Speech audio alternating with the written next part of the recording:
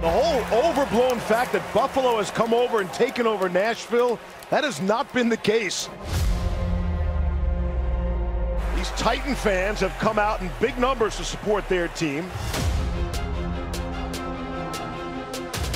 The Buffalo Bills and several thousand of their rowdy fans invaded Music City, but in the end, it was the home team that went home happy. A thriller here at Nissan Stadium.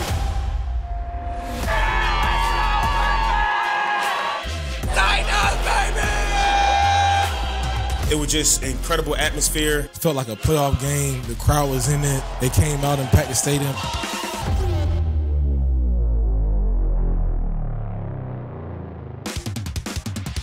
Having Nissan rocking like that, we're gonna need an energy this week um, against Kansas City. It was rocking on Monday night. It was awesome. We love the fans here in Nashville, and we definitely want to keep as many Chiefs fans out of the stands as we can.